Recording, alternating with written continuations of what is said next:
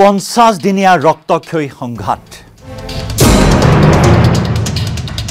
প্ৰাণ নাশী আন্দোলন প্ৰাণ নাশী অভিযান।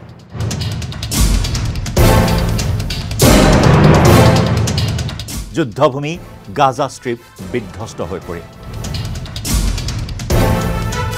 ইজৰাইলৰ ধাৰাবাহিক আক্ৰমণ গাজা ষ্ট্ৰীপত। হামাছ নিঃশেষ কৰাৰ অভিযান পঞ্চাছ দিন ধৰি চলিল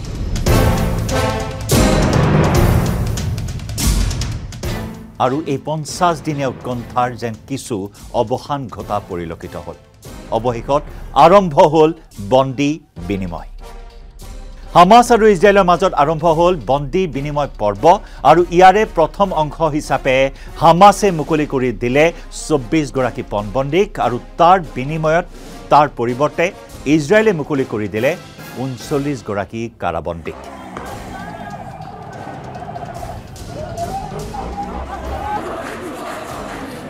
Got a lot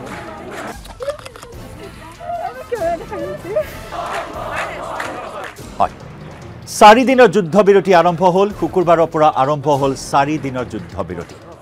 যুদ্ধৰ আজি পঞ্চাছটা দিন ঊনপঞ্চাছটা দিনৰ পৰা যুদ্ধবিৰতি আৰম্ভ হ'ল হামাছ আৰু ইজৰাইলৰ আৰু এই সময়ছোৱাত ইতিমধ্যেই সন্ধিয়া প্ৰায় সাতমান বজাত শুকুৰবাৰে সন্ধিয়া প্ৰায় সাতমান বজাত মুকলি কৰি দিলে চৌব্বিছগৰাকী পণবন্দীক হামাছে যি নেকি সাত অক্টোবৰত ইজৰাইলৰ ভূখণ্ডত প্ৰৱেশ কৰি হত্যাযজ্ঞ চলাই বন্দী কৰিছিল প্ৰায় দুশ পঞ্চাছজনকৈ ইজৰাইলী নাগৰিকক আৰু বিদেশী লোকক। আৰু সেই মৰ্মে আৰম্ভ হৈছিল যুদ্ধ আৰু তাৰে প্ৰতিশোধকল্পে ইজৰাইলে চলাইছিল ভয়াৱহ আক্ৰমণ যি আক্ৰমণ অত্যন্ত ভয়ংকৰ আক্ৰমণ হিচাপে ইতিহাসত চিহ্নিত হৈ ৰৈছে। আৰু এই আক্ৰমণ বন্ধ কৰিবৰ বাবে কাটাৰৰ মধ্যস্থতাত আৰম্ভ হৈছিল যুদ্ধবিৰতি চুক্তিৰ বাবে হেঁচা। উভয় পক্ষৰ মাজত কাটাৰে মধ্যস্থতাকাৰী ভূমিকা গ্ৰহণ কৰি অৱশেষত এই যুদ্ধবিৰতি আনিবলৈ সক্ষম হ'ল আৰু যাৰ বাবে চাৰিদিনৰ যুদ্ধবিৰতিৰ প্ৰথম পৰ্যায়ত মুকলি কৰা হ'ল চৌব্বিছগৰাকী পণবন্দীক আৰু ইয়াৰ ভিতৰত দহগৰাকী থাইলেণ্ডৰ এগৰাকী ফিলিপিনছৰ আৰু বাকী তেৰগৰাকী ইজৰাইলৰ বন্দী বুলি ইতিমধ্যে চিহ্নিত কৰা হৈছে বা এই কথা উল্লেখ কৰা হৈছে। আৰু যি দৃশ্য দেখিবলৈ পোৱা হৈছে পণবন্দীসকলক মুকলি কৰাৰ পাছতেই এক আৱেগিক পৰিৱেশে বিৰাজ কৰিলে আত্মীয় স্বজনৰ মাজত।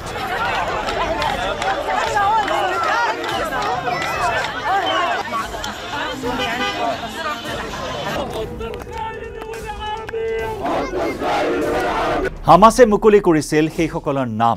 প্ৰথম পৰ্যায়ত কাৰ কাৰ মুকলি হ'ব। সেই বন্দীসকলৰ নাম মুকলি কৰিছিল প্ৰকাশ কৰিছিল।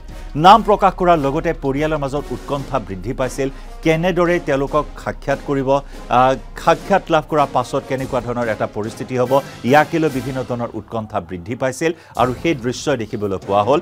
আৰু যেতিয়াই সাক্ষাৎ লাভ কৰিলে বা মুকলি আকাশৰ তললৈ ওলাই আহিল এইসকল পণবন্দী আৰু তাৰ পিছতেই দেখিবলৈ পোৱা হ'ল এক আৱেগ বিহ্বল পৰিৱেশ। আনন্দৰ চকুপানী নিগৰি আহিল সকলোৰে চকুৰে।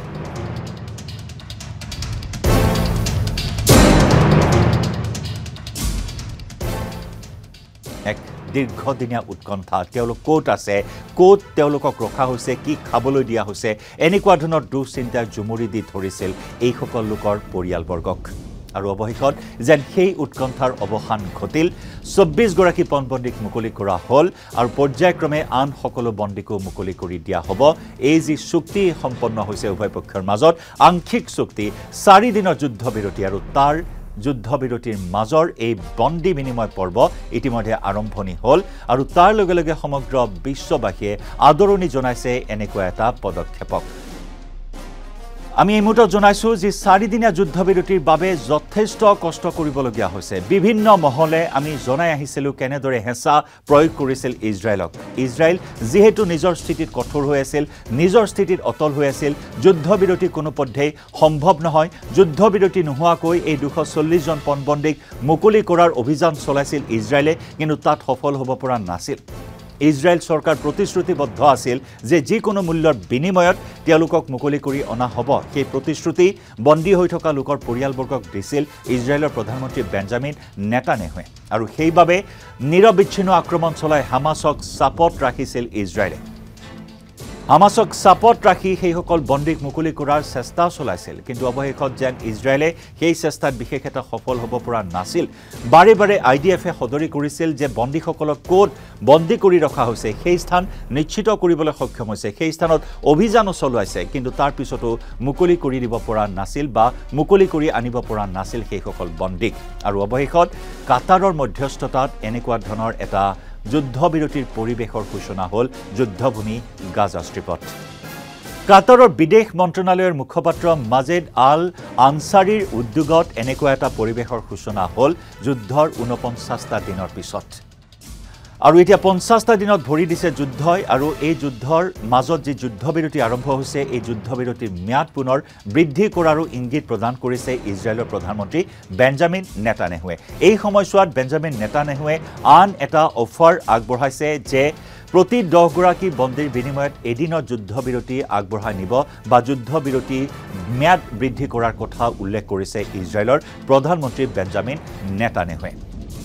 প্ৰতি দহগৰাকীক মুকলি কৰি আটাইকেইগৰাকী পণবন্দীক মুকলি কৰাৰ লক্ষ্য হাতত লৈছে ইজৰাইলে আৰু সেইবাবে হামাছলৈ এই অফাৰ আগবঢ়াই কৈছে যে প্ৰতি দহগৰাকী বন্দীৰ বিনিময়ত এদিনত যুদ্ধবিৰতি আগবঢ়াই নিব ইজৰাইলে। নেতানেহুৱে কয় যে সকলো বন্দী নাগৰিককে মুকলি কৰি অনা হ'ব। ইজৰাইলে আশা প্ৰকাশ কৰিছে যে যুদ্ধবিৰতি কিছুদিন বৃদ্ধি কৰি হামাছে আৰু অধিক বন্দীক মুকলি কৰি দিব পাৰে। যি চৌব্বিছগৰাকী বন্দীক মুকলি কৰা হ'ল তেওঁলোকক আন্তঃৰাষ্ট্ৰীয় ৰেড ক্ৰছৰ কৰ্মচাৰীৰ হাতত গতাই দিয়ে হামাছে। মুকলি কৰা তেৰগৰাকী ইজৰাইলী নাগৰিকৰ ভিতৰত আছে চাৰিগৰাকী শিশু ছয়গৰাকী মহিলা। আৰু মুকলিৰ পিছতে তেওঁলোকক চিকিৎসালয়লৈ প্ৰেৰণ কৰা হয়।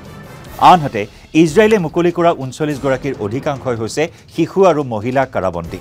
আৰম্ভণিৰ যিটো চৰ্ত আছিল যে এশ পঞ্চাছগৰাকী পেলেষ্টাইনৰ কাৰাবন্দীক ইজৰাইলে মুকলি কৰি দিব আৰু তাৰ বিনিময়ত প্ৰথম পৰ্যায়ত হামাছে পঞ্চাছগৰাকী পণবন্দীক মুকলি কৰি দিব।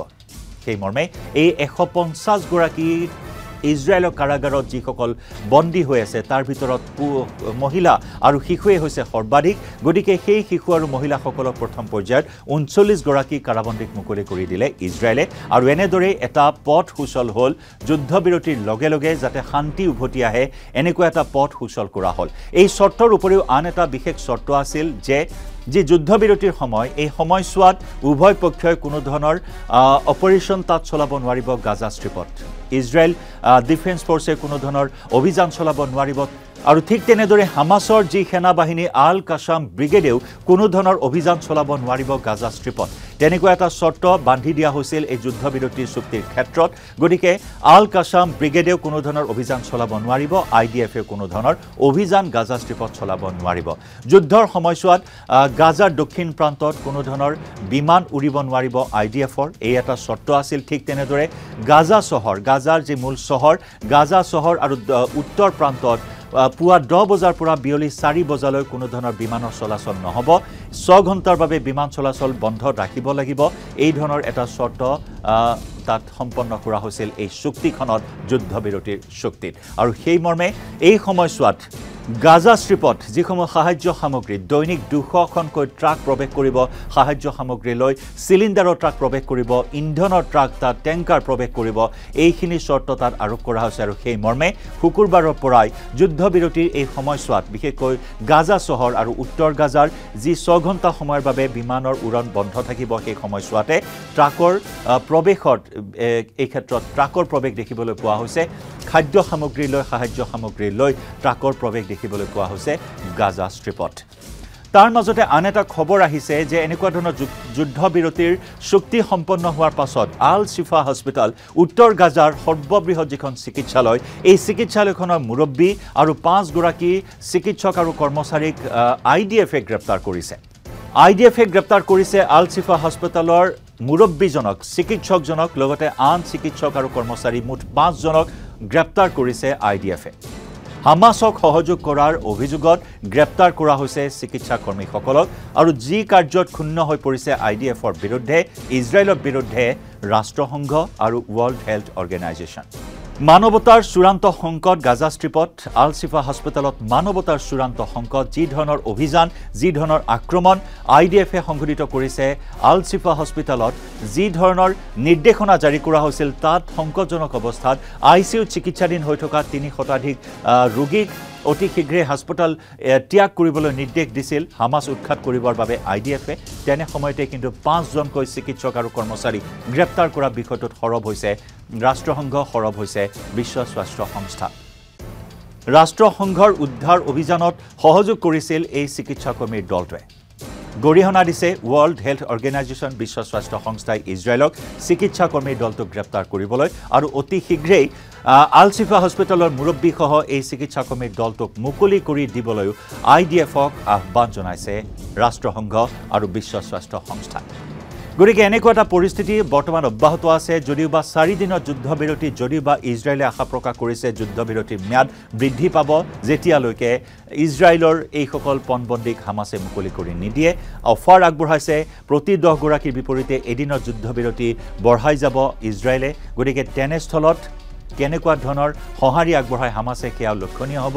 ঠিক তেনেদৰে ইজৰাইলৰ প্ৰধানমন্ত্ৰীগৰাকীয়ে কৈছে যে যুদ্ধবিৰতি অন্ত পৰাৰ পিছত পুনৰ হামাছৰ বিৰুদ্ধে আক্ৰমণ চলিব। এই আক্ৰমণ কোন দিশে যায় সেয়াও লক্ষণীয় হ'ব কাৰণ এই পৰ্যন্ত যদি চোৱা হয় চৈধ্য হাজাৰ পেলেষ্টাইনী লোকৰ মৃত্যু হৈছে আজি পঞ্চাছ দিনৰ আক্ৰমণত। গাজা ষ্ট্ৰীপত সাত অক্টোবৰৰ পৰা চলি থকা যি আক্ৰমণ ইজৰাইলৰ সেই আক্ৰমণত চৈধ্য হাজাৰ সাধাৰণ নাগৰিকৰ মৃত্যু হৈছে যি নেকি সমগ্ৰ বিশ্ব কঁপাই গৈছে। বিগত সময়ছোৱাত যি নেকি সমগ্ৰ বিশ্বই গৰিহণা দিছে ধিক্কাৰ দিছে ইজৰাইলক। কিন্তু ইজৰাইলে কৈছে যে সাধাৰণ নাগৰিকক হত্যা কৰা আমাৰ লক্ষ্য নহয়। আমাৰ লক্ষ্য হৈছে হামাছ নিষেধ কৰা হামাছ ধ্বংস কৰা। গতিকে এই চৈধ্য দিনৰ বিৰতি তাৰপিছত কিমানজন বন্দীক মুকলি কৰে হামাছে লক্ষণীয় হ'ব আৰু তাৰপিছত এই যুঁজখন কেনেদৰে আগবাঢ়ে সেয়াও লক্ষণীয় হ'ব। এই যুদ্ধবিৰতিৰ লগে লগে ৰাষ্ট্ৰসংঘৰ পৰা আৰম্ভ কৰি বিভিন্ন আন্তঃৰাষ্ট্ৰীয় সম্প্ৰদায়সমূহে আশা প্ৰকাশ কৰিছে যে ইয়াৰ লগে লগেই যুদ্ধৰ অন্ত পৰক শান্তি আহক গাজা ষ্ট্ৰীপলৈ।